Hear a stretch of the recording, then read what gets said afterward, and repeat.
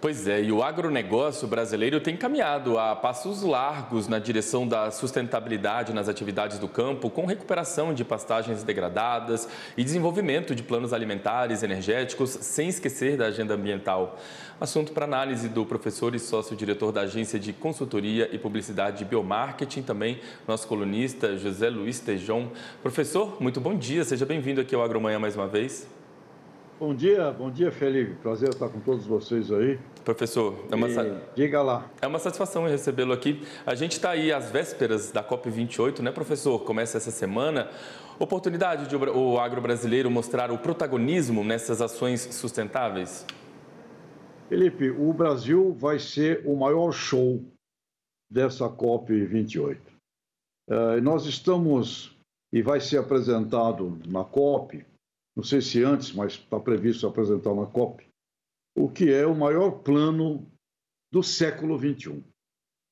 É, é uma iniciativa brasileira dessas que nos deixa muito orgulhoso do nosso país, das cientistas brasileiras, produtoras, produtores.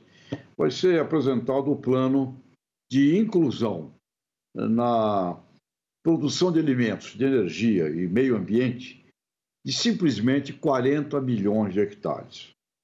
40 milhões de hectares significa dobrar a área agricultável brasileira, praticamente, significa um potencial de mais 300 milhões de toneladas de grãos, eh, de alimentos, eh, de árvores, e tudo isso ainda dentro dessas 40 milhões, desses 40 milhões de hectares de áreas de pastagens degradadas, que serão transformadas em áreas extremamente importantes, também com redução de carbono, também dentro de uma bioeconomia. Dentro desses 40 milhões de hectares, 12 milhões de hectares destinados a uma regeneração uh, de florestas. Ou seja, o Brasil vai ser a grande estrela dessa COP28, porque essa, essa notícia, essa informação que vem com fundamentos científicos, tecnológicos, que irá atrair investimentos de fundos, o capital do mundo inteiro para isso, significa, além de você estar ah, levando ao mundo uma oferta de segurança alimentar, energética, ambiental de 40 milhões de hectares, significaria o desenvolvimento de um sistema inteiro de agronegócio, de tudo que envolve é mais empregos, é mais tecnologia, é mais máquinas, é mais material de construção, é mais tudo nesse entorno. E uma outra coisa muito importante que essa experiência brasileira permitirá ao mundo. Quando olhamos a, o cinturão tropical do planeta Terra, aquela faixa de países né, que envolve o cinturão tropical do mundo, é ali que você vê o maior problema de, de pobreza, de miséria, de fome. Então, essa tecnologia, esse conhecimento brasileiro, essa proposta, esse plano de 40 milhões de toneladas, de 40 milhões de hectares serem destinados à produção de alimentos, de energia com o meio ambiente, é uma efetiva revolução agroconsciente, né? E registrando aqui o nosso, o nosso livro saindo nesta semana, Agroconsciente. É uma revolução agroconsciente tropical brasileira. Não haverá, não haverá notícia e informação mais forte de impactos do que essa desse plano das, dos 40 milhões de hectares brasileiros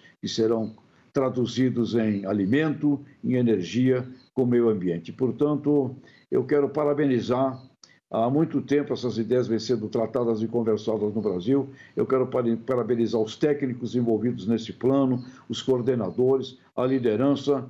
Vamos mostrar na COP28 esse plano, que é o plano do século, do ponto de vista que envolve os assuntos alimentares, energéticos e ambientais, e, ao mesmo tempo, isso tudo vai significar, eu creio, uma oportunidade já a curto prazo para produtoras e produtores olharem aí as áreas de pastagens degradadas, sejam suas ou sejam de vizinhos, para fazer arrendamentos, etc. Uma oportunidade também muito rica em função da mudança climática de nós ampliarmos aí o escopo e o campo da nossa própria produção interna, o que vai ser muito importante para o produto interno bruto brasileiro. Então, Felipe, a notícia de todas as notícias. O grande show do século XXI é que esse projeto de 40 milhões de hectares se transforme numa grande realidade. E ele tem tudo para ser, porque o mundo inteiro irá desejar que isto efetivamente aconteça. Quem deseja por aqui que isso aconteça, a gente vai acompanhar de perto é, esse anúncio e também todos os desdobramentos de tudo que for conversado lá durante a COP28. Eu queria agradecer a participação do senhor aqui com a gente hoje no Agromanhã, desejar uma ótima semana e a gente volta a conversar então na semana que vem. Obrigado. Até.